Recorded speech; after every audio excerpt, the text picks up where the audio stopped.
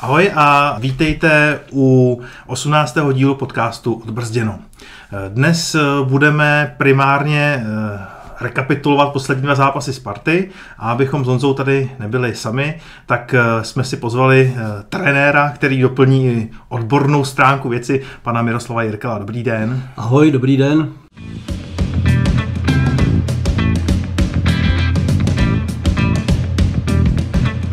Vladimír Dobrovolný a Honza Šťastný uvádějí podcast Odbrzděno.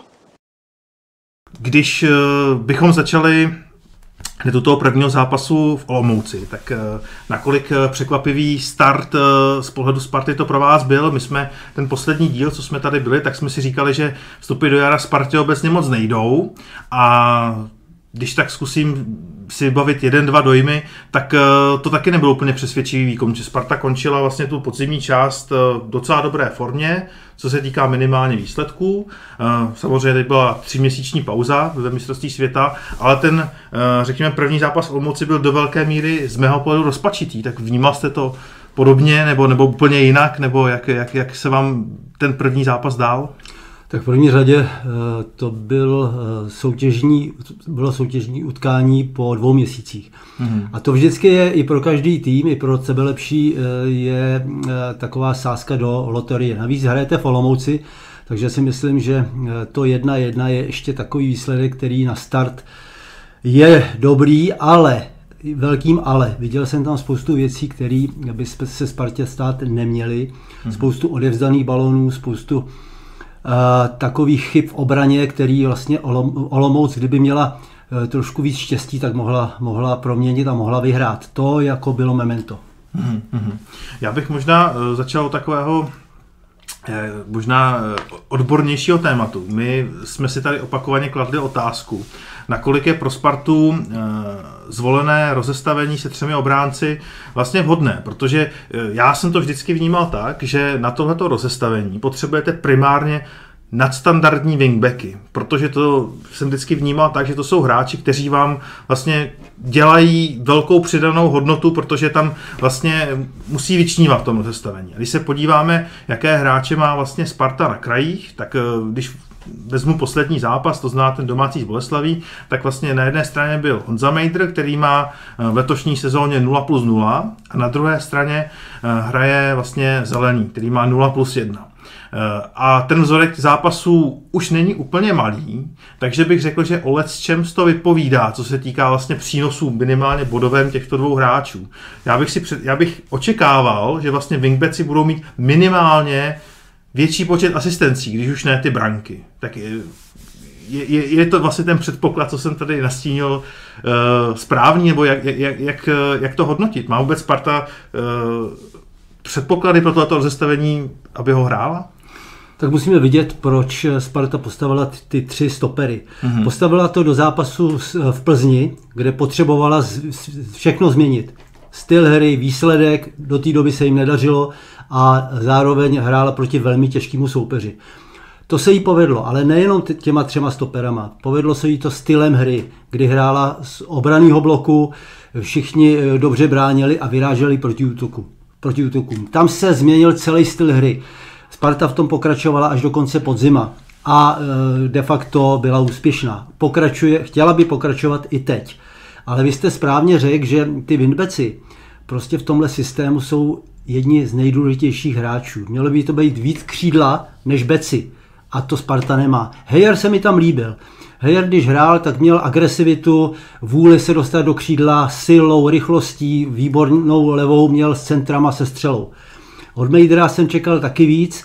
On navíc má eh, velký negativum ve své postavě, protože on je sice atletický, eh, osvalený, ale často mu chybí koordinace s balonem a taky ten balon ztrácí a není to ono, co Winback by měl ve Spartě splňovat. Mm-hmm. Já jenom poslouchám. Já poslouchám a Já jsem, já jsem si vlastně, když jsem si to trošku zkoušel představit v hlavě, tak uh, další velkou nevýhodou, která podle mě byla markantní, když už vezmu ten zápas v Olomouci a porovnám na ten domácí zápas v Boleslaví, tak bylo vlastně to složení uh, středu zálohy, protože v Olomouci nehrál Kairinen, a jeho nasazením vlastně Boleslavy se doplnil do hry prvek, který tam nebyl. To znamená, já jsem tam viděl velký posun, co se týká výstavby, která mě, výstavby útočné fáze, která mě vlastně chyběla v tom zápase v Olomouci, že my jsme vlastně nebyli schopni pořádně v té první fázi výstavby uh, fungovat.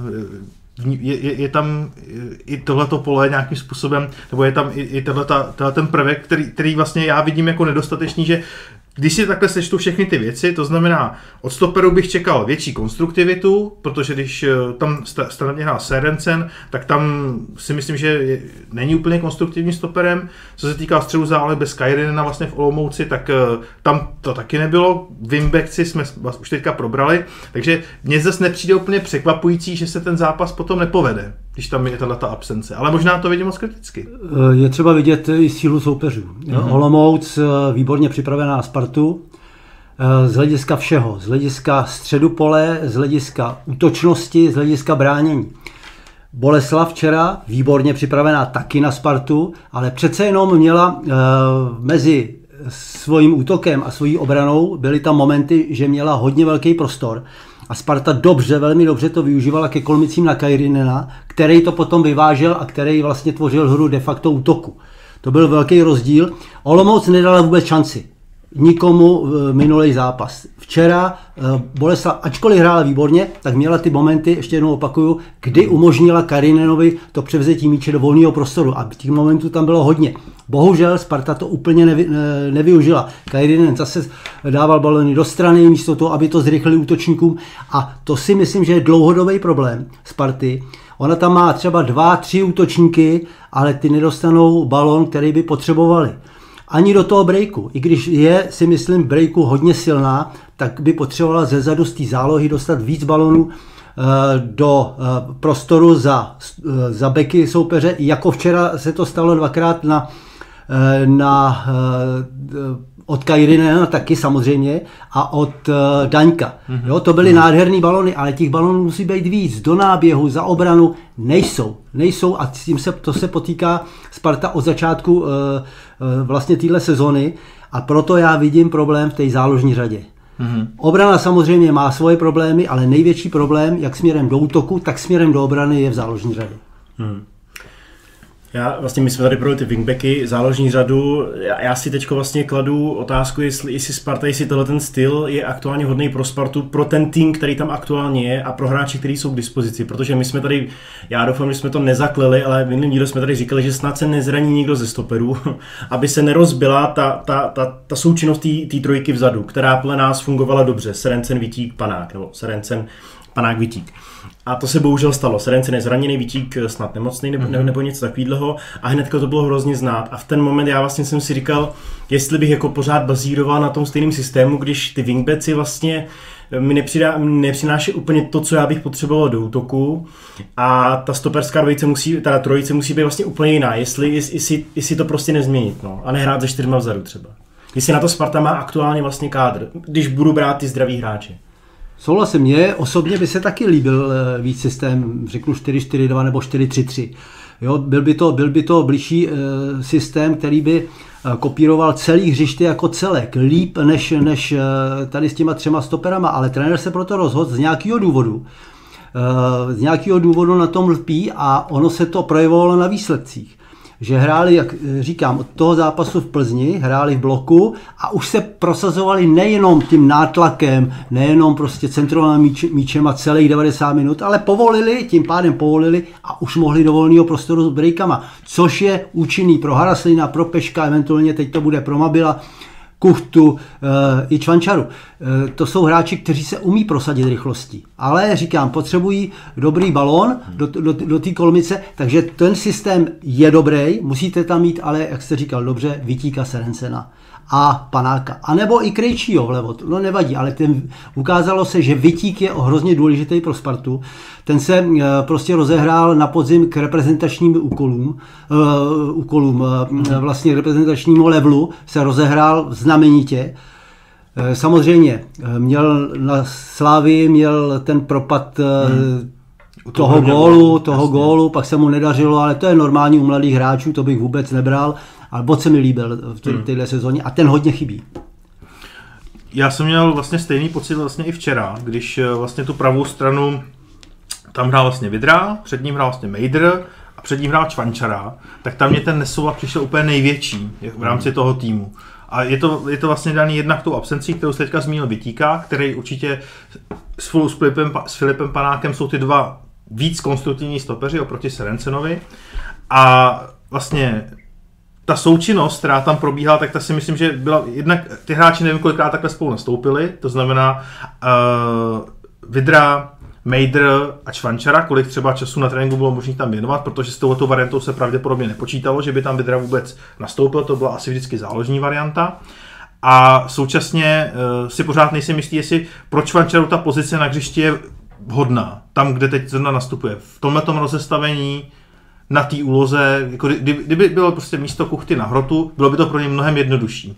Ale co se týká nějaké kombinace nebo vlastně pohybu i třeba uh, níž v rámci, v rámci uh, toho, kam musí zbíhat, že jo, v rámci výstavby, nejsem si jistý, že tohle je vlastně věc, kterou, která by se vyplatila jako opakovat i třeba směrem do příštích zápasů.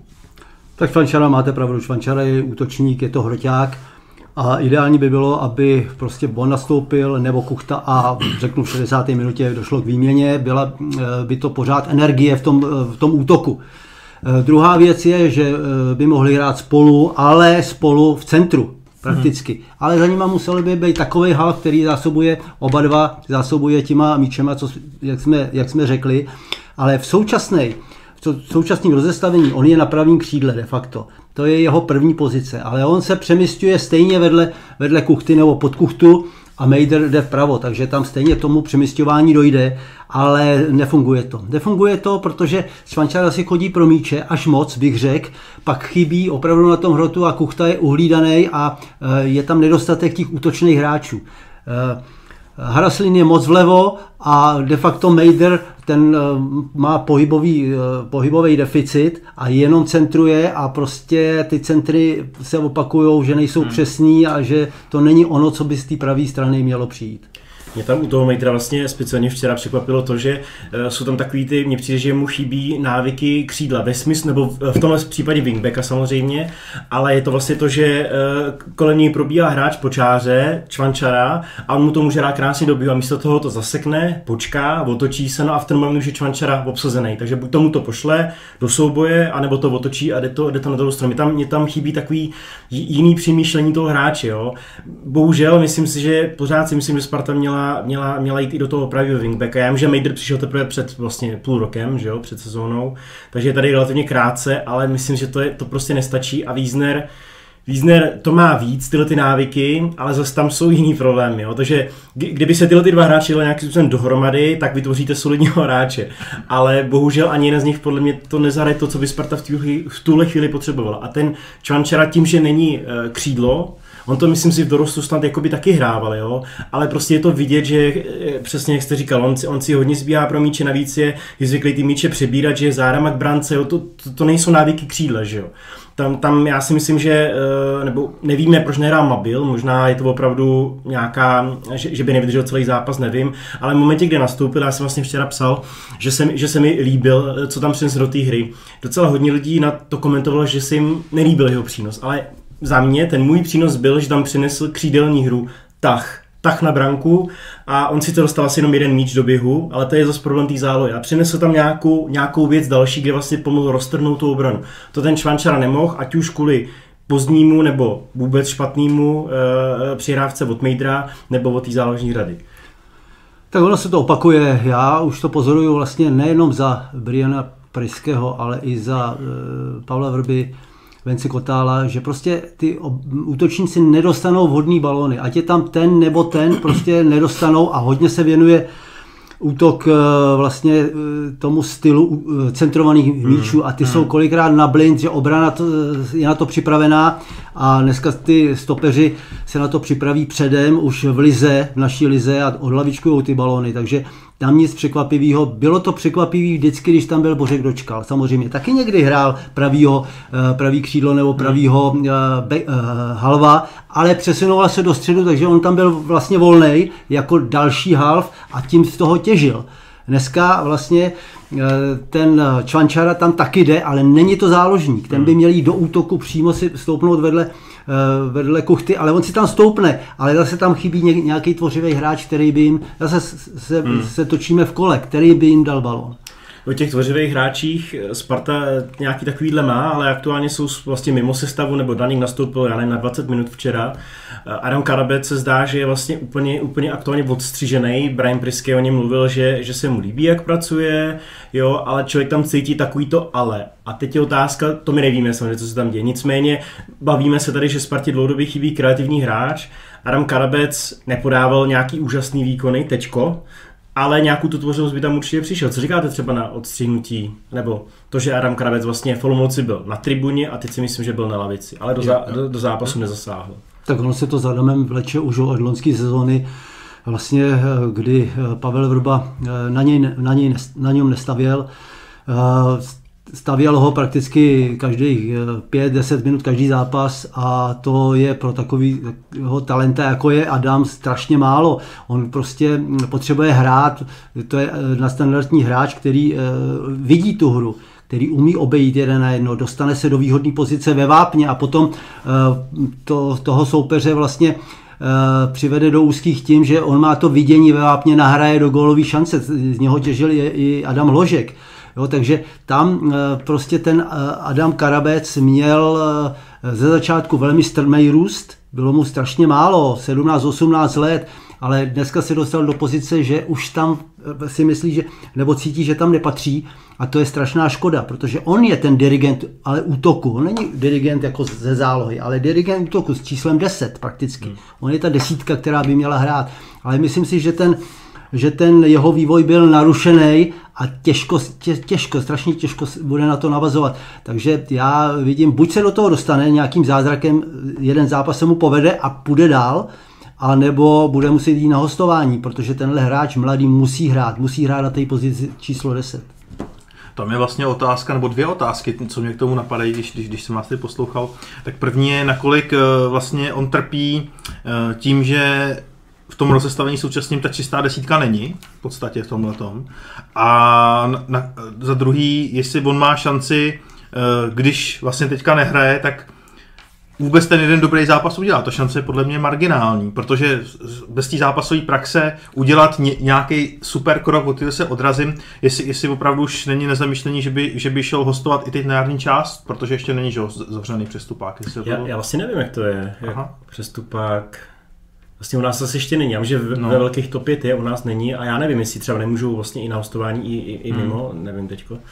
Každopádně já si taky myslím, že by si, a, a nebo jí hrát za Bčko, no, což se asi jako nebude úplně, úplně chtít, ale no, tak pořád lepší než tribuna, sedět no. na tribuně. No. Hmm. no ne, tam je u tohle mladého hráče a na téhle pozici je strašně důležitý, aby hrál kontinuálně hmm. zápasy, protože a my ty, tyhle desítky, ty tvořivý desítky my nemáme. Vemte si v lize, kdo, kdo to hraje ještě s takovým viděním, s takovouhle postavou, krytím míčem, eh, s přihrávkou, střelou, co, co, co má, jo, to prostě je, to by měl být top hráč, ale když ho zastavíte, ne, eh, nehraje v lize, v naší hmm. lize, která by měla být pro mladý samozřejmě a pro ty talenty, ale nehraje. Bohužel velká, velká chyba. Hmm. Hmm. No, jak, jak jste říkal, Liga pro talenty, teď Pavel Vrbajel se Zlínem, eh, s mužstvem, který měl v základu že ho průměr 31,5 roku. Takže... Snad nejstarší nejstar... jako průměrný eh, věk toho jednoho týmu snad jako vůbec. Hmm co bylo vždy. Ne, a to je věc, která mě se nelíbí. Hmm. My tady máme spoustu akademií, hmm. Eh, který prakticky chrlí hráče. Samozřejmě, otázka kvality. Otázka kvality, ale to mají všechny země, všechny země a to je otázka eh, mu dát šanci a eh, je jiný výkon hráče v 18 letech a jiný v 21, kdy najednou během, nebo 22, během roku dvou, najednou vyskočí úplně na jiný level, když mu dáte šanci a je to jiný hráč, který ho známe. Ale ty kluci nedostanou šanci. Jo, ty by měli dostat uh, právě šanci v Lize, kde, kde je hodně průměrných hráčů, starších průměrných, ale bohužel uh, trenéři a, a majitele dávají šanci těm ověřeným hráčům, než by šli do nějakého rizika, to je taky velká chyba. Já myslím, že třeba na tom Vitíkovi, že, který jsme to zmínili, je vidět, že už to hodně odehrál na svůj věk, a, že ve Spartě, že navíc, a že může být potom velkým přínosem, ale musí to mít za sebou, což Adam Karamec rozhodně nemá teďka, mm. že, takže těžko se od něčeho odrazit. Ale zase já ještě do toho skočím. No. Jo? Ono to není jenom o těch mladých hráčích. Tam je důležité, aby tyhle mladí rostly vedle zkušených, eh, velmi kvalitních eh, fotbalistů. Vedle, vedle nich. Protože eh, ten tým, a Sparta není úplně zářený příklad, by měl být eh, jako mix starých, mladých, aby eh, to mělo jednak okamžitý výkon, aby ten tým podal, a jednak i do budoucna, aby vytahli ty mladý výkonem, aby se od nich učili přímo na hřišti. Když si vzpomenu řadu klubů, týmů, to dělá v Evropě úplně cíleně. Ajax. Ajax ten to dělá léta a prodává mladý hráče do top klubů. Je to nejvíc vydělávající eh, klub v Evropě. S tím, že posunuje ty neznámí hráče do, eh, třeba do Premier League, ale když si vemete a podíváte se na Ajax, tak tam mají, máte půl hráčů, kteří jsou, nebo eh, z těch jedenácti mají pět, kteří jsou na 30 let, ale zbytek jsou mladíci. A to je úžasný, protože oni se při nich zlepšují a mají, mají jednak oporu, že když něco zkazí, tak ten starší to, to napraví a jednak se učí vedle nich. Jsou ovlivňovaný těma staršíma hráčema. A e, to je, to je to, jak prostě já vnímám, jak by se ten mladý měl e, vyvíjet. No, tady samozřejmě máte pravdu, že Sparta v tomhle není zářný příklad, protože když si vezmeme ty starší hráče v posledních sezónách, tak kdo tady měl nějakou výkonnost, o koho bychom se opravdu mohli opřít. No. Těžko bychom hledali, nejde prostě dvě, tři jména, a často to byly taky že jo, nepovedený návraty, když eh, jako ten asi nejmí povedený byl třeba Láďa Krejčí z Itálie, že jo, což byl taky asi hráč vlastně v dobrém věku, po kterého jsme se tady měli opřít, ale, ale ne, no. No já jsem, znova musím zmínit Božka Dočkala, protože on, je to, on to byl hráč, který právě měl to vidění a který on eh, prodával ve prospěch eh, těch spoluhráčů a i mladých spoluhráčů. Když naskočil Venca Drechal do ligy ve Spartě, obrovský talent. Jo, teď to dokazuje v Bohemce, ale potřebuje taky hrát. Tak ho zásoboval míčema právě do, do běhu, protože Vence je ohromně rychlej. Eh, Bořek dočkal. Bořek dočkal mu dal vyniknout, protože eh, ty kolmice mu dával on pravidelně. Jo, a to jsou věci, které prostě ten tým musí mít. A jak je nemá, tak většinou je to od těch zkušených eh, playerů, který je v reprezentaci, který má nějaký level zkušenosti, tak to udělá. Jde do, do té riskantní přidávky a vyjde to. Ale když jsou tam nějaký průměrný, třeba starší a průměrný, tak to neudělá. Spíš dá přidávku dozadu a te- ten, ten styl hry je rozbitý. Takže tam, když starší hráč, to se týká Sparty taky, tak moje přesvědčení je, takže bych měl ho zaplatit, aby to byl opravdu level ten nejvy, nejvyšší. Nemusí být moc těch hráčů, ale aby byl nejvyšší level. no. Souhlas, já si myslím, že Sparta, Sparta uh, tohle, tohle určitě do nějaký míry určitě, určitě cítí, proto tam byly ty příchody nebo návraty, spíš třeba čelůstky a tak dál. A teď si myslím, že se snažila v zimním přestupovém období se snažila přivést až na Kamenoviče hotový hráče, což alespoň na papíře tyhle ty hráči, kteří tady byli, Mabil, Kairinen, Lači, vlastně jsou.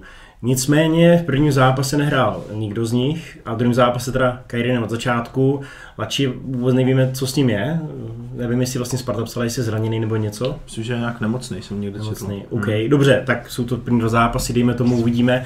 Ale za mě to, eh, já prostě, mně přijde vždycky zvláštně a teď my naprosto spekulujeme jako mobil, my netušíme, jestli třeba něco měl nějaký problém nebo tak, ale tady jsem čekal, že půjde okamžitě do základu, Mabil konkrétně a upřímně mě vlastně hodně překvapil Kairinen. Od toho jsem, neříkám, že jsem to tak nečekal, ale překvapil mě, jakou nadstavbu má dopředu. Jo, protože podle těch dát a podle nějakých úryvků, co jsem viděl, mi přišel takový, jakoby, taková ne tak zajímavá šestka, nicméně na něm je vidět, aspoň podle mě, že to je fotbalista, že si s míčem rozumí, že se nebojí a že, že tu přihrávku má taky v hlavě.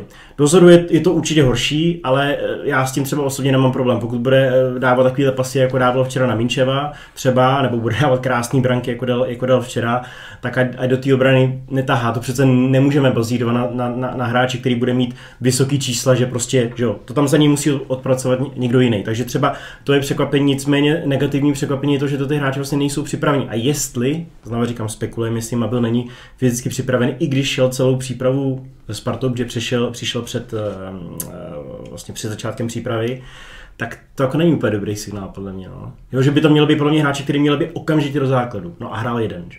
Já se musím to, v tomhle zastat mm-hmm. uh, trenérů, Eh, protože mě se eh, líbí přístup trenérů, protože to dělají podle mě všechno s rozvahou a nechtějí se ukvapit, nechtějí prostě dát jenom na přání fanoušku, aby hned viděli hráče a ono se to taky nedá.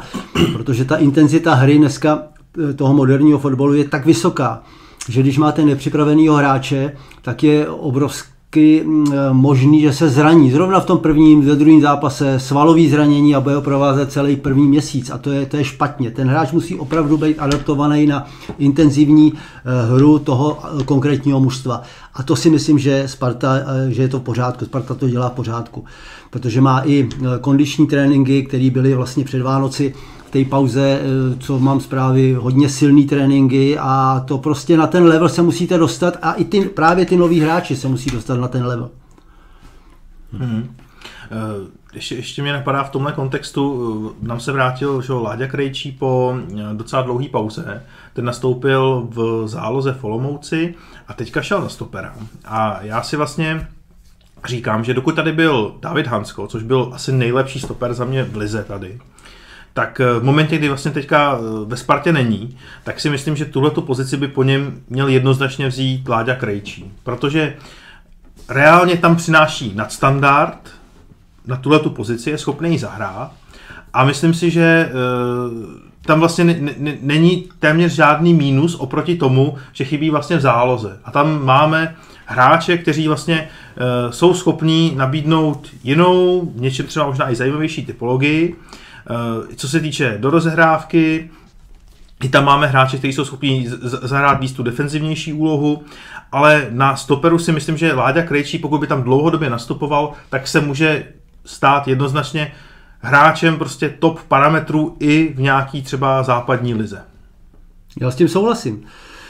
Mám pořád před očima, myslím, že to bylo za Václava Kotála eh, v Lille, jak hráli. Nebo to ten domácí zápas tady, myslím, na letní, e, jak tam Florin famozně zachytal a Láďa Krejčí dal ten jeden gól? Není to ten? Nebo možná... Ne, ne to ne, bylo ne? v Lille a on uh-huh. hrál eh, toho levýho, myslím, že hráli taky na tři uh-huh. a on hrál levýho stopera, protože Vence to tam prostě uh-huh. zazděl a měl pravdu proti tak silnému soupeři jako Lille, který je evropský vlastně uh-huh. tým, a eh, ten Láďa Kryšita hrál bezvadně. Ten pokryl právě toho nejnebezpečnějšího útočníka, tam pokryl, ten prostě na něj neměl šanci a když vidíte jeho hru, Ládi Krejčího, eh, a když to porovnáte, nebo já to porovnávám s těma výkonama eh, těch defenzivních hráčů, co jsem viděl na mistrovství světa, což je mistrovství světa ukazatel nějakého směru, nebo potvrzení nějakého směru, který, kam se fotbal ubírá, tak tam eh, bylo právě eh, stěžení, že ty, ty obránci, ať je to obránce nebo defenzivní záložník, jsou úžasní v rychlosti, v předvídavosti, v koordinaci a v odebírání balónu. A tohle všechno má eh, ten Láďa Krejčí, že dovede být rychlej. Ono, on je hmotný, ale včera ukázal několikrát, vykrokoval toho útočníka, že prostě je silný i v, tej, v tom pohybu dozadu. A to je, a, a je konstruktivní, konstruktivní odebírání. Takže on má na ten taky souhlasím jakoby, že má na ten post eh, toho buď levýho stopera ve čtyřobrancový systému nebo levýho stopera ve tří, má velký předpoklady a může tam být excelentní. A já to už to tvrdím o to utkání z Lille, kde se mi hmm. ohromně líbí a kde ukázal, eh, kde je jeho síla. Takže já bych ho tam stavil taky. Já bych ještě doplnil jednu věc. Eh, my jsme tady říkali vlastně, že Sparta aktuálně má problém s nedostatečnou kvalitou centrů, a to je vlastně eh, častý protiargument eh, těch, kteří říkají, že Láďa Krejčí má hrát v záloze, protože dává góly, ale mi jako nedává teďka, že jo, když, nemá, když nemáme centry.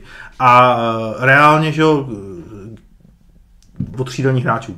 A e, reálně zase jako hrozba při standardních situacích je pořád, bez ohledu na to, zdali hraje stopera nebo, nebo záložníka. Takže já, když si to takhle vlastně seč, sečtu, jako by plusy, minusy, tak mi z toho vychází, že jednoznačně bych z něj udělal stopera a hrál bych ho tam bez ohledu na to, jestli hrajeme tři nebo čtyři stopery. Já s tím, ne, teď jsem tvrdil, nebo e, Měl jsem důkaz pro to, moje tvrzení, že e, to vidím v těch atributech, které jsou vlastně kladený na ty zadní hráče, on má opravdu ty eh, kladné stránky eh, všechny, všechny, který má mít moderní obránce. To, to on má a navíc je charismatický, ze zadu to může dobře dirigovat A to ho dělá vlastně do budoucna jedním, vlastně u nás podle mě, jedním z nejlepších hráčů do budoucna, obránců do budoucna. Jo. Takže, a v, co se týče toho, té tý zálohy, samozřejmě záloha dneska by měla fungovat tak, aby byla hodně pohyblivá. Eh, ty, buď je tam ve třech nebo ve dvou, ale musí, musí se rotovat, pohybovat, neustále nabízet a tohle Láďa Krejčí nedělá. Ten by tam byl spíš jako samozřejmě defenzivní eh, záložník, který by to stejně hlídal záda těm záložníkům, že on eh, přes, přesně tu, tu kombinaci taky neudělá v rychlosti. To není taky jeho úplná síla, aby přihrál na běh, podílel se na rychlej kombinaci, taky to neudělá. Jo, takže eh, jsme se shodli, že by eh, na tomhle postu měl pokračovat. Teď je otázka, kdyby byli všichni zdraví, tak koho byste posadil? Teda Serencena asi hádám. Eh, já si myslím, že Láďa Krejčí by byl nejlepší stoper ze všech, co máme, hmm. takže proto bych ho tam jako hrál bez ohledu na to, kdo je zdravý nebo, nebo není zdravý.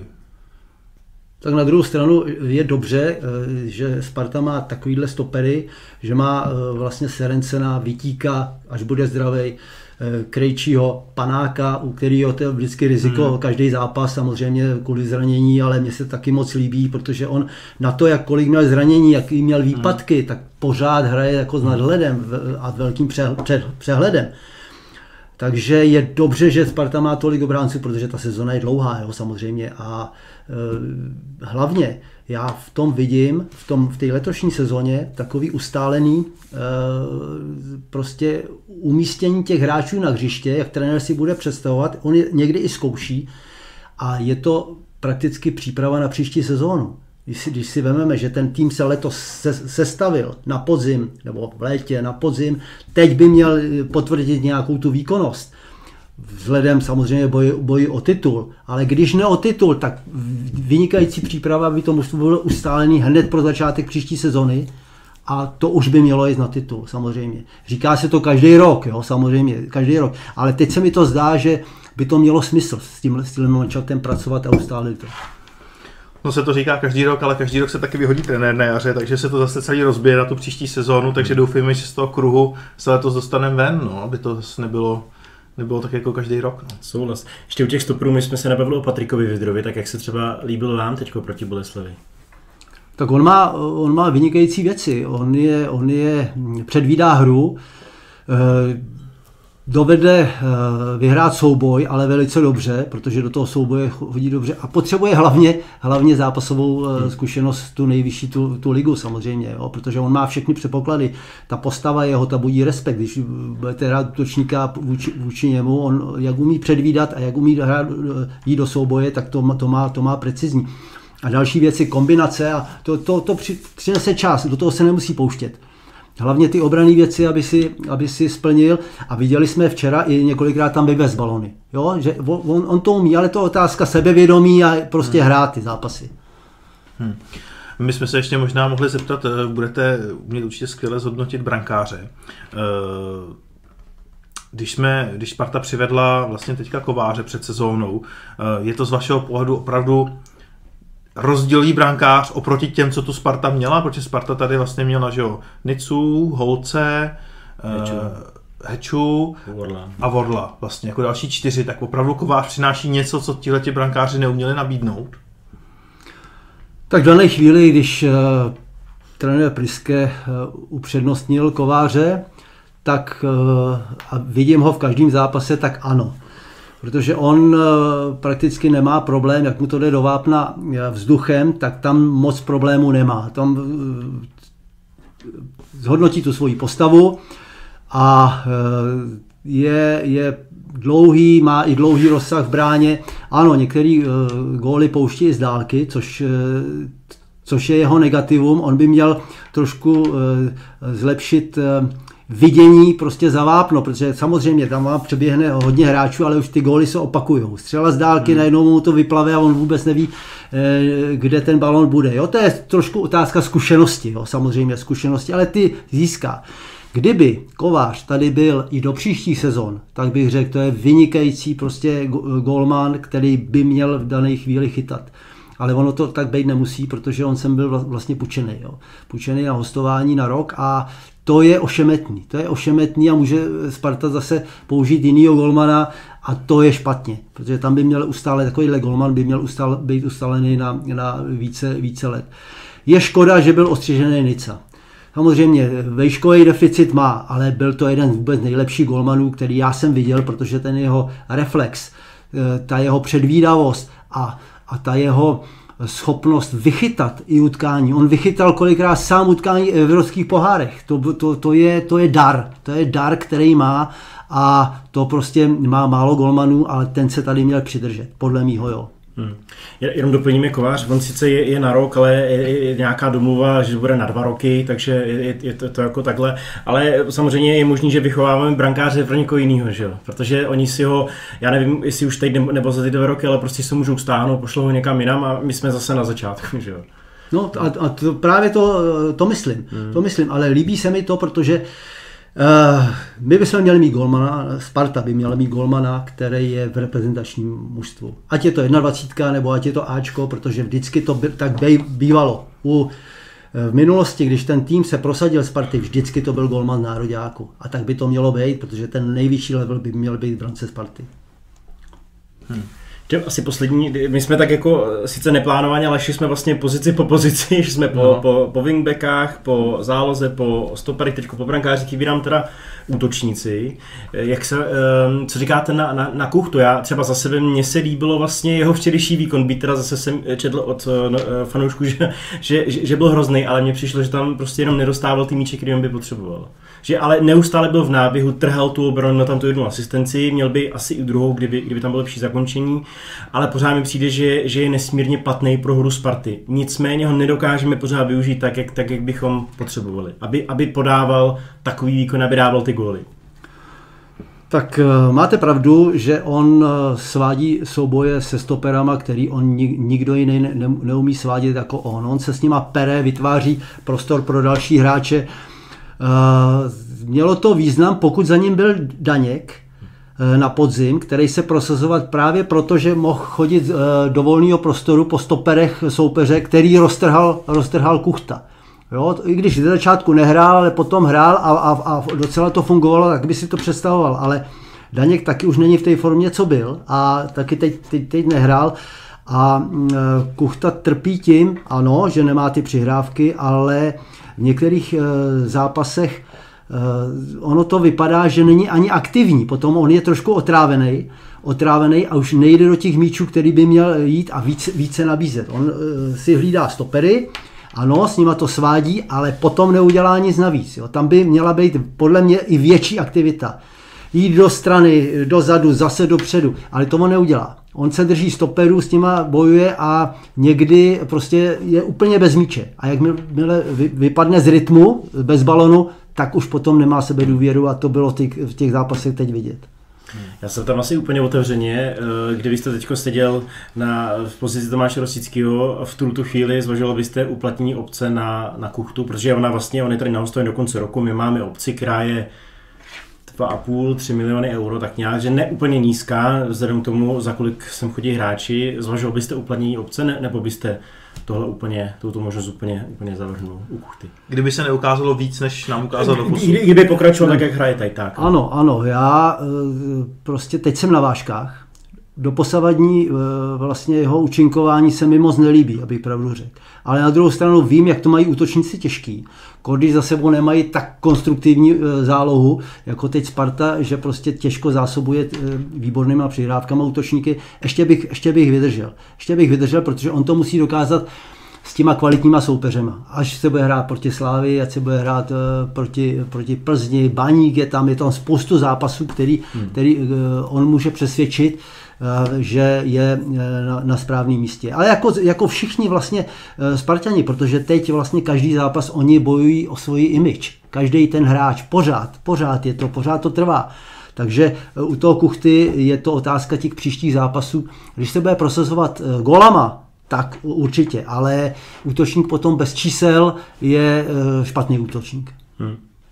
A poslední jméno, pak můžeme jít zase do něčeho jiného, ale třeba jak se vám líbil včera, včera Minčev, dal vlastně dvě krásné branky, co vlastně říkáte vůbec na jeho příchod, eh, příchod na letnou, protože on je tady tři, třetí rok a vlastně nikdy se neprosadil do, eh, do základní stavy. Na druhou stranu musím říct, že mu je teprve 21, takže pořád je vlastně jakoby, je to, asi se dá brát ještě, ještě v našich končinách za talent, ještě to není hotový hráč. Ale už je taky hraniční. Teda, je to určitě hraniční, ale jako ještě bych ho tam schoval. No, 21, nebo když se podíváme na naše Bčko, tak jako průměr našeho Bčka je, není daleko od našeho Ačka, ne? No, takže my tam hrajeme hráči, kterým je 22. No, abych našim Bčkem úplně jako já rozumím, argumentoval. Já rozumím, ale jenom říkám, že e, tak jak ta moje analogie je ta, že ty hráči Bčko očividně ještě nejsou hotoví hráči pro první ligu a jsou třeba starší než je Minčev, takhle to myslím. No.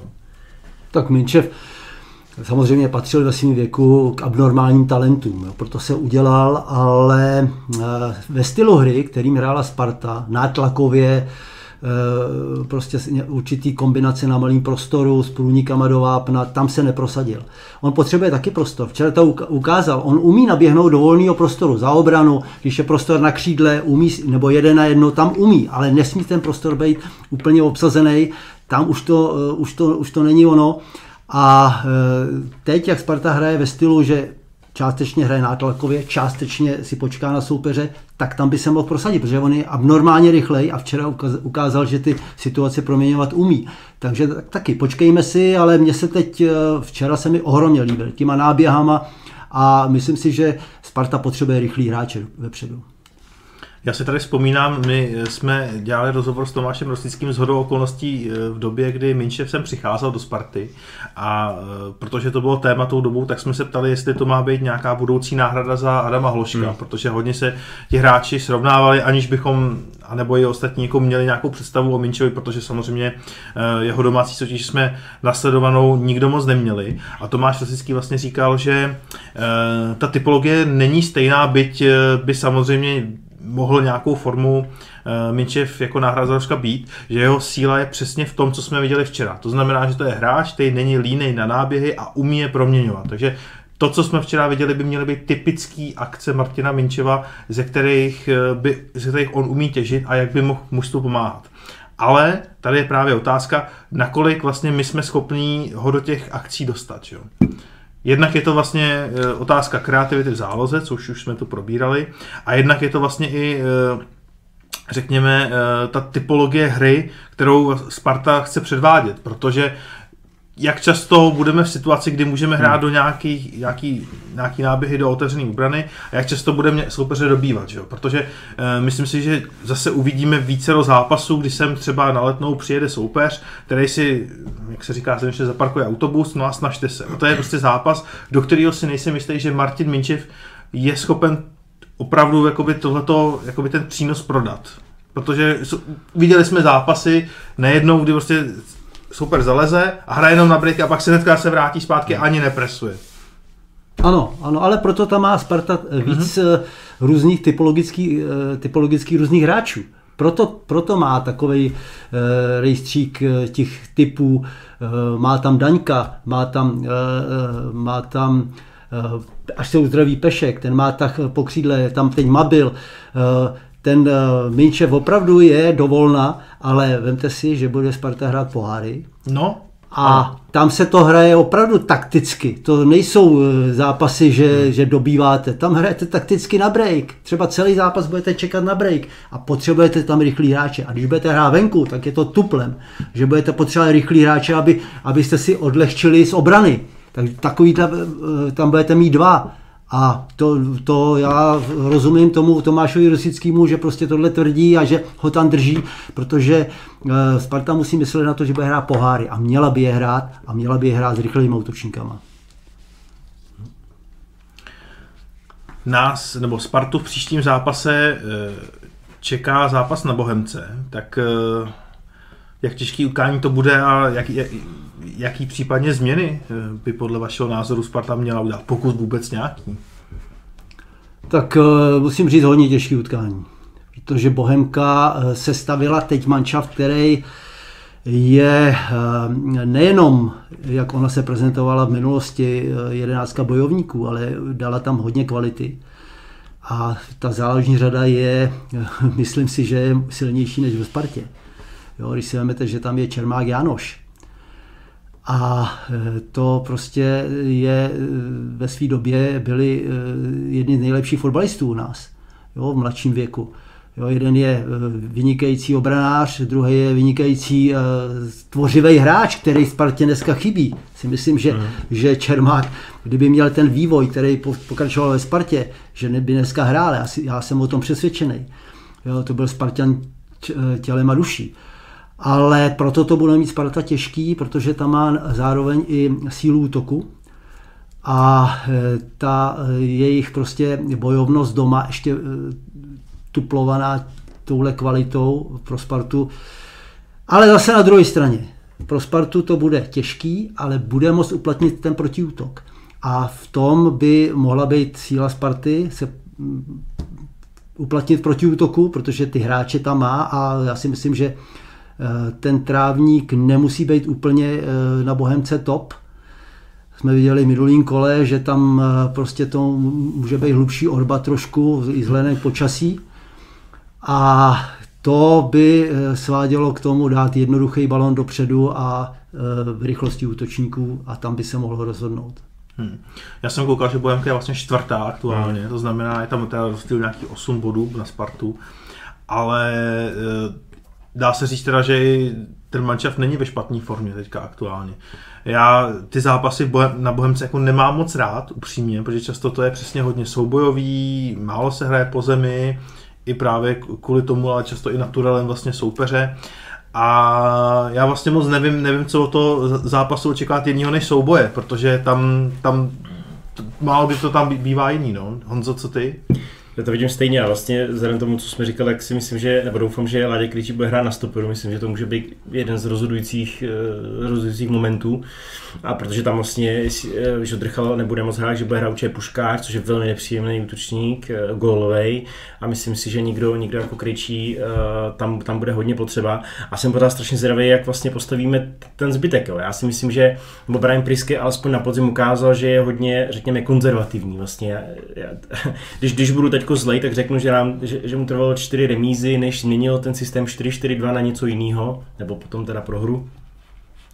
A takže si myslím, že vlastně bude držet pořád to stejný, to 3-4-3 a o to víc jsem zvědavý, který hráči vlastně do toho půjdou. Jo. Protože třeba zase, jestli jsme se bavili, eh, eh, já se opakuju, ale jestli tam byl třeba není 100% připravený, tak možná už teď bude, přece jenom už je to dva týdny nebo bude to třetí týden, na druhou stranu pošlete ho do vyloženě soubojového utkání na Bohemce, jo, spíš ne, jo, takže si myslím, že, že i to, z tohle pohledu bude hrát vlastně de facto stejná sestava, jako hrála teďko. Sadílek tam podle mě bude určitě, Kairinen to neposadíte a vlastně by to byla chyba, protože se mi líbil, byť teda netahal tak dozadu, jo. takže já si myslím, že klidně nastoupíme úplně ve stejné sestavě, a nejsem si úplně jistý, no. Já... Jediný, kdo vlastně si vytík se dá dohromady, tak možná místo Vidry, a jinak bych to taky čekal asi stejně. Hmm. Já, já teda eh, za sebe bych eh, radši viděl místo Čvančary tam někoho jiného na tom pravém řekněme křídle, byť je to samozřejmě trošku nepřesný popis, ale nepředpokládám, že se něco změní. No, eh, proti Bohemce, a proti, to budete hrát proti Bohemce, proti Baníku, proti dalším dobrým týmům, potřebujete, aby ty křídla bránili, aby prostě hmm. ty křídla byly i eh, v obrané fázi prakticky eh, blízko bekům, aby eh, prostě to tam, to tam zhustili, protože Dnešní fotbal eh, musíte bránit v bloku, v kompaktním bloku, úzkým bloku a mi se zdálo a i včera, že ty křídla přece jenom nemají takovou tendenci chodit, eh, vypomáhat obraně a vždycky tam byli pozdě. A vždycky eh, ten, to mužstvo soupeře mělo právě v záloze, v obránci měli čas Eh, ty Boleslavy dát ten balon přes, přes obranu. Tam nebyl tlak na míč z hlediska našich útočníků, spartianských útočníků. Takže, takže tam, byl, tam byla ta, ta, ta bota. A na Bohemce to bude tuplem, protože ty tam budou posílat ty, ty balony eh, do těch pozic za obranu úplně pravidelně a potřebujete, potřebujete útočníky, který se, se vrátí do toho bloku a přes ně eh, ty krajní beci soupeře nepřejdou. A to bude základ i pro tu, si myslím, pro tu nominaci, aby tam byli hráči na těch křídlech, kteří jsou schopni tohle udělat. Mm-hmm. Ještě se zeptám, eh, v jaký, v jaký fázi nebo na jaký pozici je, by bylo nejlepší třeba pro Daňka nebo Karabce, aby naskočili do jakého zápasu a na, na který pozici přesně teďka, když bychom teda vyšli z předpokladu, že držíme to rozestavení. Tak já vidím, já vidím Daňka jako pravýho záložníka pra, s tím, že v obrané fázi přesně půjde, vypomůže, vypomůže v obraně, pro ně ideální 4-4-2 aby, ne, nebo, nebo 4-5-1 pro, pro Daňka. A v útočné fázi se přesune buď eh, rovnou, rovnou vedle útočníka, anebo právě na hrot té zálohy do středu a už je volný. To dokázal několikrát, že jakmile přeběhne volný a on, když je volný, on je dynamický hráč, dostane balon, tak může individuálně se prosadit do vápna a tam uvolnit útočníka, což dokázal několikrát. Jo, takže prvotní uh, pozice u lajny, ale potom v ofenzivní části si přesunou do středu a to on, to on umí. Tohle to, to dokázal opravdu, že je platný hráč a že to je velká zbraň. Ale teď nevím, proč nebyl stavěný, asi trošku z formy, samozřejmě hodně se trénovalo, ale on se do té formy znova dostane. Mm-hmm. A byla by to třeba varianta rovnou do základu třeba místo Čvančary, bylo by to prospěšnější? Tak když spekulujem samozřejmě. Já si myslím, že ano. Já si hmm. myslím, že ano. A zvlášť, že jsem ho viděl včera, jak se velmi dobře adaptoval na tu hru, i hned posílal ty kolbice dopředu, eh, je, je pohyblivý, to on je vždycky přirozeně. U něj, u něj bylo spíš eh, v minulosti, že jak eh, prostě má velmi dobrý dribbling, tak někdy přišel o balón v tom, v tom dribblingu. Jo? Tam prostě musí být i dobrý terén. Nevím, jestli Bohemce hmm. bude dobrý terén, ale samozřejmě on je drzej, on jde do, do koncovky z, z té strany, říkám, z té strany do středu, anebo rovnou do, útoč, do útoku a on je drzej střelec, a který se umí, umí prosadit právě, právě do volna. Takže já bych ho, ho tam dal na pravý, eh, na pravý křídlo. Mm-hmm. Já, já takhle mám takový eh, víc srovnávacích otázek. A na pravýho beka, když má, když má Sparta Wiesnera a Mejda, tak z vašeho pohledu, koho byste hrál? Lišilo byste to případně od soupeře nějak, nebo byste hrál jednoho z těch dvou hráčů? No, ono to dělá podle mě Sparta podle soupeře, hmm. Protože Wiesner je zase eh, hráč, který může z toho postup pravýho beka nebo halfbacka, wingbacka jít i do středu hřiště za útočníka, že jde rovnou kolmo, kolmo do, vápna, do vápna. To Mejder neudělá, nebo tam už by nebyl takovaný, ale e, oba dva musí přidat, samozřejmě. Oba dva musí přidat. Mě Eh, prostě se nelíbí, že nejvíc odevzdaných míčů je právě na té pravé straně, ať hrál Wiesner nebo, nebo Mejder, tak je nevinucených chyb eh, příliš, příliš mnoho. Mm-hmm. Je tohle vlastně i pozice, kam by třeba Sparta mohla cílit nějakou posilu do léta, protože mně subjektivně přijde, že tohle je místo, kde Spartu nejvíc hmm. aktuálně tlačí bota, když už te, samozřejmě před, před touhletou před tím přestupákem to byl asi střed zálohy, ale tam přišlo více do hráčů tak teď to na mě působí, že ten pravý back je něco, pokud tam nedojde k nějakému razantnímu zlepšení formy u jednoho z těch dvou hráčů, tak je to možná asi primární pozice, na kterou by se měla Sparta zaměřit. Souhlas, já to vidím i dlouhodobě, protože pořád říkám, že eh, v dnešním fotbale jsou eh, v té skladbě mužstva jsou eh, ty krajní obránci nejdůležitějším a vlastně takovým rozdílovým, rozdílovým postem protože ty vám můžou udělat výsledek, eh, udělají tlak ze strany, eh, na ně se hraje, eh, tím pádem odbrzdíte další hráče do vápna, před vápno, když máte výborného beka, takže to, to si myslím, že Spartě chybí. Heyer se mi moc líbil. Musím říct, že ten si moc líbil. I když obraně taky eh, měl nějaký boty, ale to se spíš odpustí, protože tam jsou další hráči, kteří eh, můžou, můžou, můžou napravit.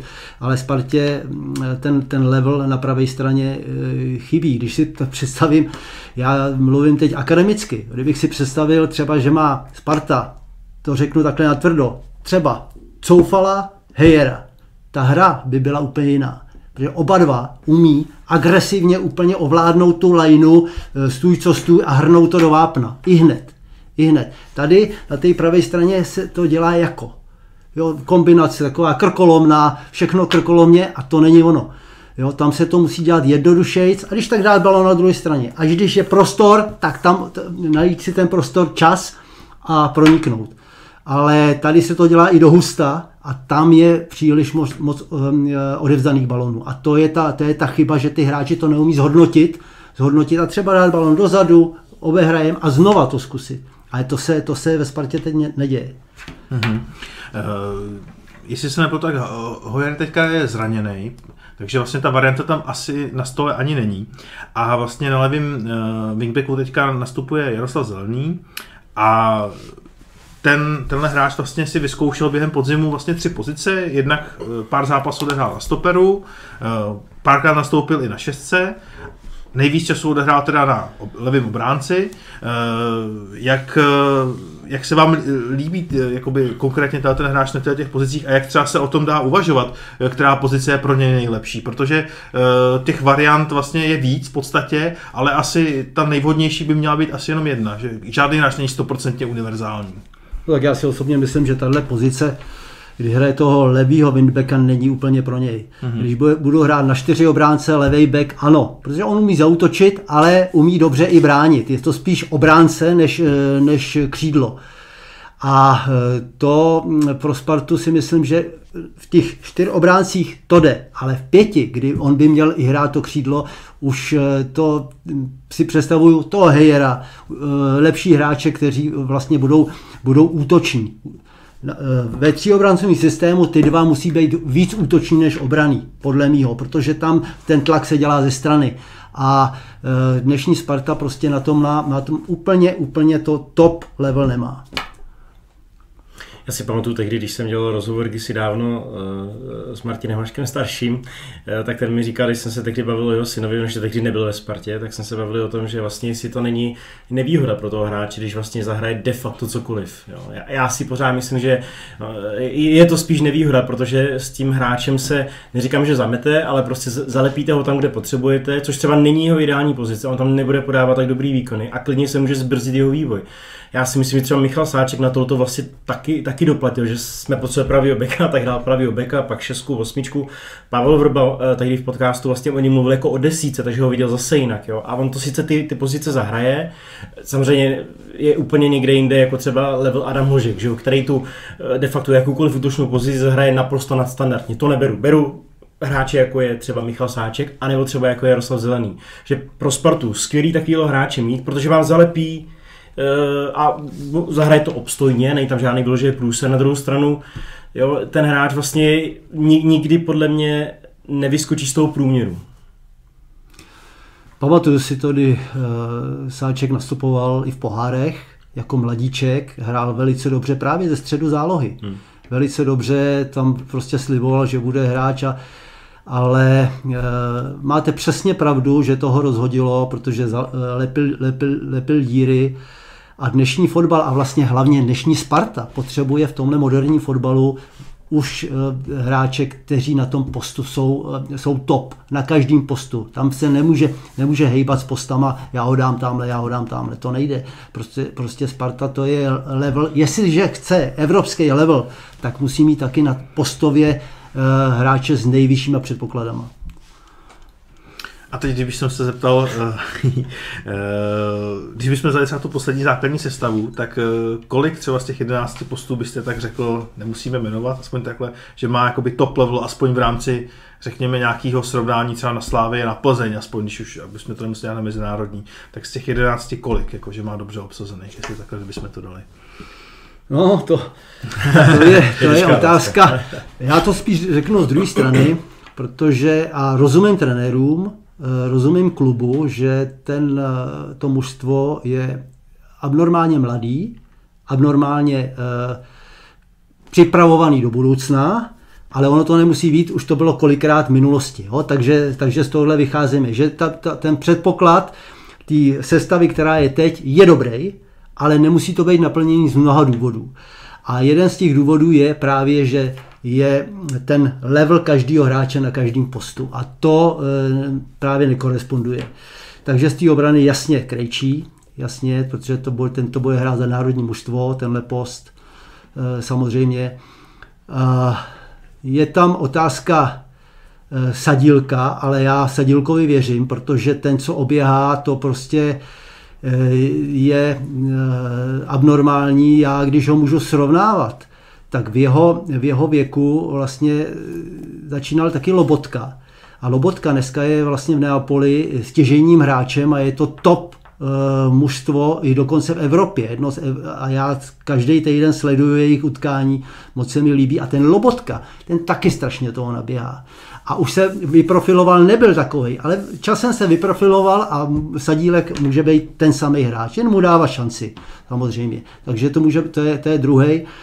No a um, může to být Čančera. Já bych ho viděl na hrotu útoku, protože se mi taky moc líbí na hrotu útoku. Teď je ta jeho pozice jiná, ale když bude hrát na hrotu útoku, bude hrát každý zápas a zbaví se takových těch jeho výlevů trošku, trošku, ale to k tomu mládí patří, takže, takže, takže bude dobrý.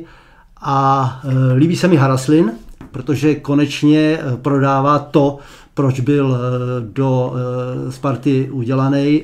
Vlastně hraje za národní tým Slovenska, je, má veškerý parametry breakový útočníka, útočníka do vápna. Vidíte to, jak včera byla na penalta, šikovně to udělal. Jo? To jsou takové věci, které tenhle útočník umí. Takže eh, a Kovář má samozřejmě veškerý předpoklady být eh, top, top golmanem. Takže to je tak asi všechno, co, co, co vidím. Ale eh, můžou, můžou je doplňovat hráči, protože to není jenom o top levelu. Tam můžou být dva, tři, který dělají černou práci, ale musí tam být pohyb, musí tam být souboj a musí tam být vůle, vůle všechno, všechno dělat a nenechat se otrávit.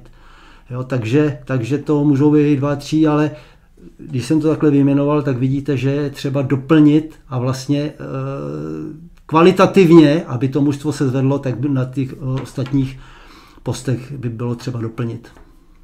A vidím Vytíka. Samozřejmě Vytík nehrál, nehrál, ale já ho vidím hodně vysoko, podobně jako Krejčího. Hmm. Vytík Krejčí a možná, že by mohli hrát spolu, i ve čtyřobráncovém systému spolu s topery a bylo by to, bylo by to velice dobrý do budoucna. Hmm. Tam je vlastně zajímavý, že eh, Vítíky třeba teď podepsal nový smlouvy, což je vždycky taková ta předzvěst, že, že asi oni měli ještě teda na rok, eh, nebo minimální Vítík ještě určitě na rok, nicméně stejně se prodloužilo a myslím si, že to bylo právě kvůli tomu, že už spoustu eh, západních zemí, speciálně kolem Vítíka, krouží, nebo západních zemí, západních klubů, takže to byla taková ta pojistka na navýšení ceny a v tomhle poměru je zajímavý, že on za 20 teď psal, že se bude podepisovat Wiesner, že se bude prodlužovat. Eh, tak eh, z pohledu toho, co jsme teď řekli, že tam správně, eh, nebo tam by podle nás Sparta, myslím, že tady všichni tři shodneme, měla, měla přinést větší kvalitu, tak je to, je to zajímavý rozhodnutí asi nějaký backup v pořádku. A ještě jak, se, jak jste zmiňoval toho sáčka, tak jsem si vzpomněl vlastně, že, že Wiesner začínal taky ve středu zálohy a vlastně mě, mě překvapuje, že žádný trenér ho tam Doufám, že se nepletu, Láďo, ale no, vlastně, že to vlastně sporadicky. Já si pamatuju, myslím, že na podzim, když jsme hráli v Boleslavi, tak Wiesner tam měl vlastně, že jo, tak tam na chvilku nastoupil. Možná se, ale myslím, že to měl Ačko právě, že dal nějakou mm. průnikovku, ale snad už se nepletu, mě to trošku splývá, už taky okay. jsem nejmladší. Takže. ale mně, se, mně by se hrozně líbila, co tady říkal pan Jirkal, eh, stoperská dvojice, kdybychom měli jako na dva stopery, Vytík, eh, Krejčí. To by se mi byla hrozně moc a hrozně bych to chtěl vidět. Je to možná trošku jako uh, zlík Filipu Panákovi, který taky je super fotbalista, ale že tam je pořád s otazníkem to zdraví, takže jako tam jako vždycky se můžeme bát, jestli nám vypadne nebo vypadne, ale mně přijde, že vlastně Vytík s Krejčím mají vlastně všechny předpoklady, co by měli mít, protože Vytík taky je silný v osobních soubojích, tam, byl, tam je docela dobře vidět i ten progres, že jo, on vlastně v dorostenských kategoriích jako dominoval, se týká soubojů, potom když neskočil do, do, do, do ligy, tak tam bylo vidět, že najednou je ten level vejš a chvilku se s tím prál, ale zase se hrozně posunul v tomhle směru a myslím si, že ještě pořád tam má další prostor k růstu, aby opravdu opravdu dominovala ještě víc po tom budoucnu, třeba jako Krejčí podobně. A oba jsou to, že by to byly konstruktivní stopeři, jeden levák, jeden pravák, takže ideální dvojice. A v momentě, kdyby táta, tyhle ty stopeři spolu odehráli, což se asi nestane, protože Láďa Krejčí bude chtít asi taky ven, třeba za rok, za dva. Takže kdyby oni spolu odehráli třeba jen dvě, tři sezóny, tyhle ty dva, myslím si, že by to mohlo být s přehledem nejlepší stoperská dvojice ligy, kdyby spolu dlouhodobě mohli hrát. Ale nemyslím si, že se to stane. Taky to záleží na vazbách kolem nich, záleží to, jak, jak bude složená záloha, beci, celý tým. Jestli vydrží brankář, protože že jo, to je ta trojka tým, základní. Facto, no. přesně, přesně tak. Potom můžou, když ten tým je kvalitní, měl by tam opravdu vůdce třeba ze z, centra zálohy, vůdce, tam by měl být i zkušený hráč samozřejmě, protože oba dva tyhle stopeři jsou jsou eh, mladí, ale mluvíme akademicky, vyloženě jenom akademicky, hmm. tak by se eh, mohli opřít o, o toho eh, dirigenta hry zálohy a už by to bylo pro ně, pro ně, pro ně samozřejmě lepší. I když si myslím, že dneska už Láďa Krejčí je dirigent, je schopný dirigovat on sám z postu toho stopera.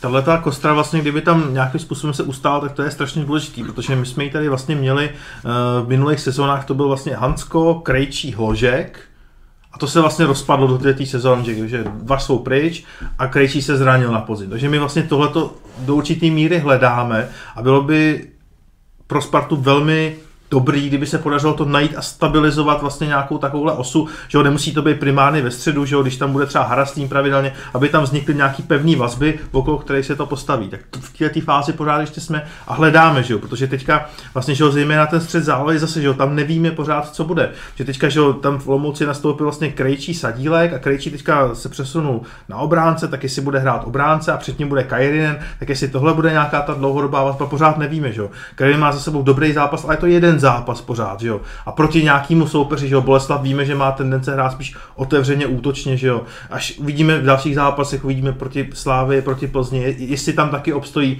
jak moc třeba bude tahat dozadu, protože že jo, taky, taky nevíme, že jo. Když si vzpomeneme na Kangu, který vlastně nastupoval na podobné pozici, tak víme, že dopředu nám, takže ho měl spoustu dobrých momentů a dozadu často netahal, že jo? tak jako nevíme pořád, je tam hodně otazníků, co se, co se, co se bude jako dít do budoucna. Takže Sparta potřebuje minimálně jednoho středáka dlouhodobě mít tady, že jo? aby tam ta osa byla, protože bez toho to nejde postavit.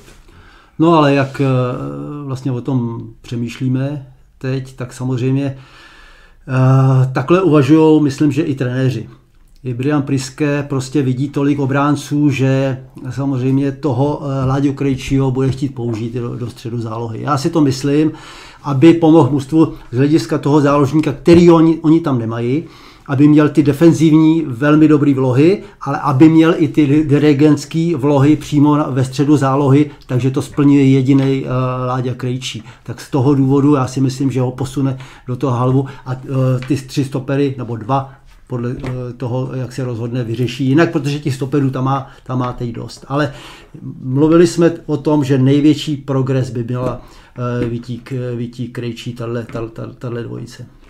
Utíká ještě určitě dobrý, doplním jenom, eh, že on to má, on to má dobře nastavený v hlavě. Je, je srovnaný, přesně ví, co jak, a to, to je v dnešním fotbale extrémně důležité, aby člověk byl úspěšný, tak se, tak se nesmí nechat rozhodit. Samozřejmě třeba to derby ho rozhodilo, ale tak to by rozhodilo každýho, ale na druhou stranu se z toho uklepal a vlastně okamžitě podával, podával znova dobrý výkony a je to takovej, v soubojích už ukázal několikrát, že dokáže být pěkně ostrý a my že jsme se tady dřív bavili, že vlastně, já nevím, rok, dva zpátky, že on měl vždycky takový, že hrál pod trenérem, pak se nehrál pod nějakým trenérem a tak dále, tak jsme vždycky říkali, že vlastně, eh, že neměl tak, tak vysokou úspěšnost eh, v osobních soubojích, tak jak bude hrát proti, já nevím, chorýmu nebo prostě takovým hráčům. A myslím, že už plně dorost, nebo proti chorýmu se mluví, protože to je prostě blázen, ale ten ten, ta typologie toho útočníka, jako toho bulldoga, takového toho blázna, který to tam rozrazí, tak si myslím, že i do tohle vytík dorost, že je schopný i takovýhle hráče vlastně ubránit a, a ustát hlavně.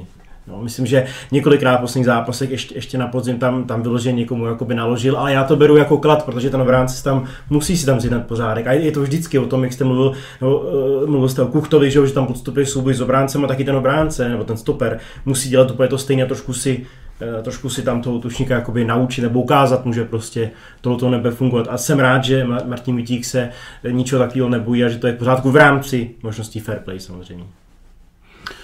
Martin Vitík je vlastně, pokud se nepletu, eh, druhým fotbalistou teprve, kde bychom vlastně mohli říct, že za dobu Tomáše Rosického se povedlo eh, ho před, přezít z akademie a udělat pro něj základního hráče pro, pro A tým, jo, bez nějakého hostování nebo zpětního odkupu nebo takhle, že vlastně to byla ta uh, jediná přímá cesta, jsem se na někoho nezapomněl, protože první byl Adam Hožek, hmm. o Adamu Karpcovi to nemůžeme ještě říct v současné době, že by to byl jako hráč Ačka, na který by mohl pravidelně hrát, zatím tam ještě nejsme, co ale není samozřejmě může být. A pak už je to jenom Martin Vitík, že jo, za ty, to máš fyzicky to asi čtyři roky teďka ve sportním hmm. ředěle, takže uh, je potřeba taky uh, si uvědomit tohleto, že ta myšlenka je hezká, jako odchovanec, Bčko, Ačko, základ, opora, ale že těch hráčů bude spíš méně než víc a že asi je to dlouhodobě se s tím jako nedá úplně počítat, že to bude udělat bez toho, aniž by ten hráč absolvoval třeba sezónu, dvě sezóny někde na hostování v jiném klubu. Já si myslím, že to je ale jakoby, že to není, nebo takhle, to je Já tam, neříkám, že to je špatně. Je, jasně. Jo, jenom jako, že ty očekávání Jasně. tady byly, že prostě každý Určitě. rok dostaneme dva hložky a Přesně. bude To- tam bombit. To je to, co my jsme tady, myslím, že opakovaně říkali, že nemůžeme čekat, že každý hráč teďko ze Stráva bude hložek. Hložek byl prostě, nebo je ufon.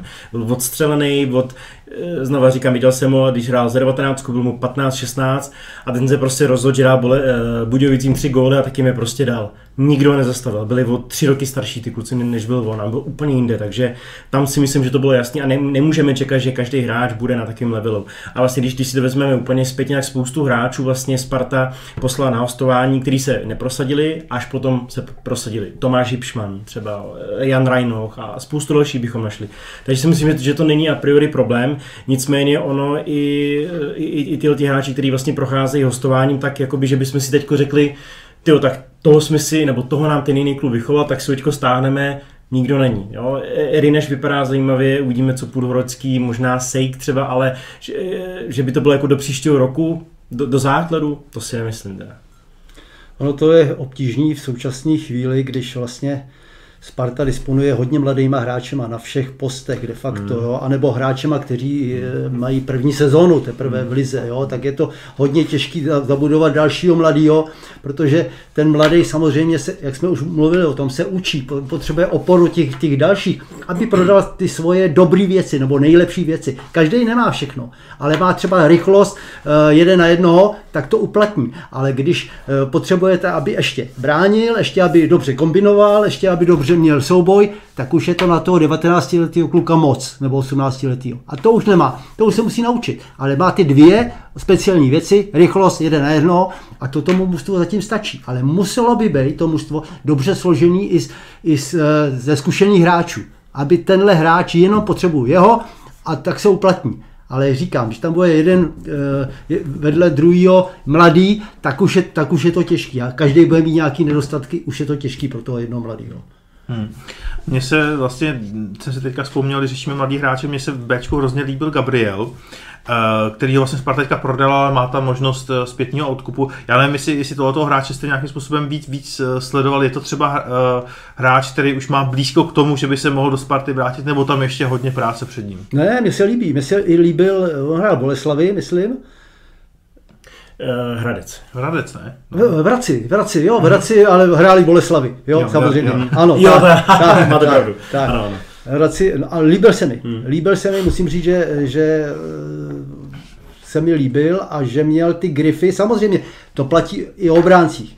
Nějaký negativa má, jo, ale eh, ty svoje věci jako soubojový předpoklady, hmm. vyvez balon, to, to, to má skvělý a, a hlavně pro ty obránce, když hrajou, když hrajou ty zápasy, tak to je velká zkušenost. Ty potřebují nasát, nasát eh, eh, prostě ty souboje, potřebují nasát prostor do sebe, aby si víc věřili.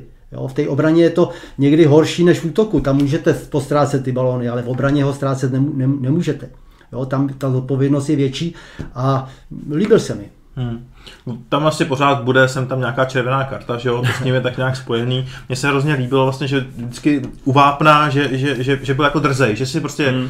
Mezi dva hráče si to prostě hodil a buď to vyjde, nebo prostě, že, že šel do střely, že, že co se týká tý ofenzivního, mm, ofenzivního přínosu pro mužstvo, tak tam byl a byl to hráč, který jako bavil, že na něj se prostě v rámci, v rám- v rámci toho, toho, toho zápasu Bčka vždycky vyčníval, že když tam byl, tak to bylo vidět, že na tom hřišti prostě je, že je to ten hráč, na kterého by se člověk jakoby i těšil a rád se na něj podíval znovu. No. Tak jsem zvědav, no, protože třeba je to zase někdo, kdo by mohl za sezónu, za dvě, ten problém vlastně, na, nebo tu, tu situaci na první straně zlepšit. Pokud tam bude nějaký trend, protože samozřejmě to ten prodej vlastně s tím nějakým zpětným odkupem, což je vlastně jiná forma hostování ve výsledku uh, asi lepší uh, než, než samotné hostování, tak je vlastně něco, co by toho hráče mělo posunout a potom, potom, potom na sem vrátit. A třeba je to někdo, kdo, kdo by to mohl zase posunout dál, to, ten post za, za, za chvíli. No. Jsem zvědavý sám osobně. Eh, Já bych se ještě, ještě, zeptal eh, na jednu věc eh, a to je Adam Karabec a konkrétně, když byste ho dal do sestavy, na který místo byste ho teďka dal? A je, je to vlastně zase ten pravý jako Daněk, je to, je to pro něj teďka přímý konkurent, to znamená místo Čvančary, kde teďka nastupuje to nějaký to pravý křídlo, řekněme, nebo kam by v této sestavě měl jít Adam Karabec, aby to bylo pro něj nejlepší možný místo? Tak rozhodně ne do strany. To bych, to bych nedělal, protože on nemá, on nemá tu, eh, tu vlastně takovou tu schopnost měnit, měnit prostor, abyste ho dali jako daňka na pr- pravé mhm. lajně a potom mu řekli, a potom už v útočné fázi tam si vybírej místo. Jo? To Karabec potřebuje být u, uchycený na nějaký post. Takže ve 4-3-3 bych ho dal skutečně na desítku. Na desítku, podhrot a byl by to dirigent útoku. Že to, to on umí. On najde ty křídla přihrávkou. Přes něj by to šlo kolmice na karabce a on je najde přihrávkou. On si najde i místo pro, pro e, převzetí přihrávky a místo pro adresáta. To on, to on umí, ale musí tam být před tím vápnem a nemůže být třeba jako na osmičce, kde potřebuje jenom bránit a je daleko od, od eh, soupeřovy branky a vůbec ne na straně, kde je taky daleko od soupeřovy branky. On potřebuje být v tom, aby mohl dát předfinální finální přihrávku.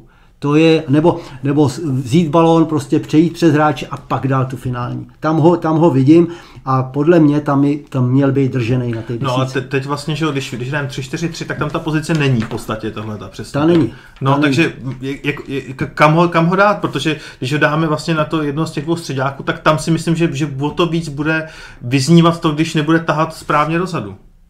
Nebo je, jako, je, to, schopen to zahrát podle vás i tak tu pozici? Ne, jako... je, to, je, je to složitější pro něj. V tomhle, v tomhle daném případě je to složitější, protože on, on je vyprofilovaný hráč, který uh, musí hrát uh, prakticky špílmachra vepředu. On nemůže hrát ze zadu. V rozehrávce, on se ho viděl taky, když hraje v rozehrávce od stopedůvce balony, spoustu ztracených balonů. To on, on prostě nemá. Ale na polovině soupeře je král. Tam to umí. Tam to umí před vápnem, ve vápně, tak ho musím využít tak, ale ten, eh, aby eh, byl platný pro tým. A tenhle post, nebo takhle naplněný post Spartě dneska chybí. Tam není ten hráč. Nevím, jestli Kajrinen by mohl zahrát tu desítku za, za útočníkem, taky ho tam nevidím. Spíš jako osmičku ho vidím.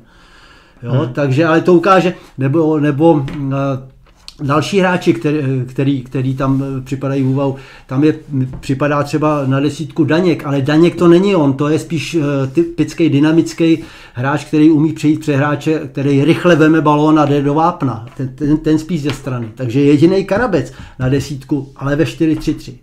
Takže eh, jestli to dobře chápu, tak dokud eh, Sparta nezmění rozestavení, tak vlastně Karabec to má přibouchnutý i z tohoto důvodu. Že vlastně... Já si myslím, že ano. Já si myslím, že ano, protože tam máte najednou dva, jenom dva střední záložníky, a samozřejmě tam eh, jim pomáhají i ty strany, ale v daném rozestavění nebo naplnění postových eh, prostorů, eh, tam on na straně vůbec nemá místo. To, to, to bych řekl, že on není úplně rychlej, on nemá ty první metry, nebo má s balonem, ale bez balonu, aby někde nabíhal neustále, to nemá a e, byla by zároveň ubytá ta jeho kreativita na straně. On je kreativní a, a, ale třeba to bude mít vývoj takový, že skutečně trenér se vrátí k tomu 4-3-3 a může tam naskočit. Já si myslím, že, že může. Dobře, ještě než, ještě než to ukončíme, tak eh, my, jelikož eh, nejsme profesionální trenéři jako vy, tak my, my musíme hrát jenom hry v, v, rámci, v rámci trenérství. Takže pokud nás naši posluchači poslouchají a ještě nejsou, nehrajou naší fantasy ligu, Eh, tak se určitě eh, přidejte, stačí zadat kód Sparta, nic víc nemusíte dělat, veškerá fantazy eh, spadá pod sasku a je zdarma, čili není to žádný, žádný gamblerství, nic do toho nemusíte investovat a přihřeju si políčičku, protože vlastně naše sestava z minula byla docela trefená, to znamená hrál Krejčí, hrál Kairinen, takže pokud jste dali, myslím, že Kairinen byl za nějakých 7 milionů, ještě, ještě dal branku, takže myslím, že to byl dobrý tip. Myslím si, že i z dnešního dílu, co jste slyšeli, tak vlastně očekáváme velmi podobnou sestavu eh, jako v posledním kole, takže myslím, že z toho si něco můžete vzít. A potom určitě budeme doporučovat hráče Spartany, kteří jsou na hostování, protože uh, Rineš může být zajímavý, Gabriel, o kterém jsme tady mluvili, může být zajímavý, Pudhorodský, Sejk, Matyáš Kozák, um, um,